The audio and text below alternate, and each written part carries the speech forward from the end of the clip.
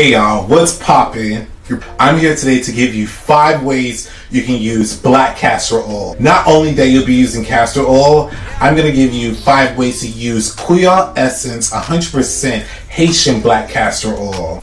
So, as you guys know, you've been following me for about three years with my hair journey, and I've been using Kreyòl Essence as one of my staple products in my regimen, and my life has been flourishing ever since. The first way I use the Kreyòl Essence 100% Haitian black castor oil is actually moisturizing my hair and my scalp.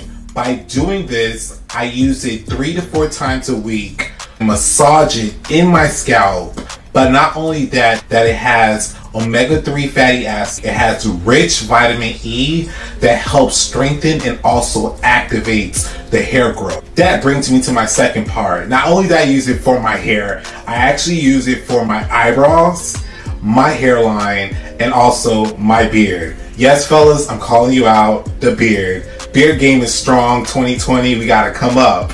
Those are my little tips on using it there. Like I told you before, that omega-3, that vitamin E, that nutrients is just amazing, very thick and moisturizing for your hair, especially if you have thicker hair. Another way you can use it is deep conditioning what I do when I deep condition, I pair it with my favorite deep conditioner and I'll add my 100% Haitian black castor oil to that deep conditioner. I mix it together. I apply it to my scalp. I massage it in, making sure I work it through roots all the way through my ends of my hair. I put a plastic bag on. I leave it in probably like 30 to 60 minutes with heat because heat is important, it's essential to go ahead and open that shaft up so moisture can be absorbed into your shaft.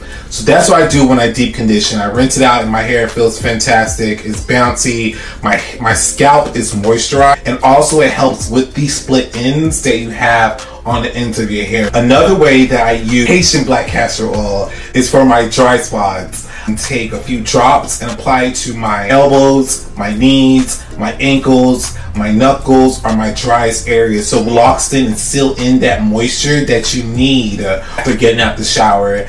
I would also back it up with some cream to add it with just so I can have another layer of protection when using the 100% Haitian black castor oil. So that's what I do to moisturize that area of my body. The fifth way I use my Haitian black castor oil is actually for my cuticles. I don't know about you guys, but when I go to the salon and get my nails done, I always bring this with me, rub it in my cuticles because it strengthens your nails and it just give it a nice glow and shine. So those are the five different ways that I use Kreyòl Essence 100% Haitian black castor oil in my regimen.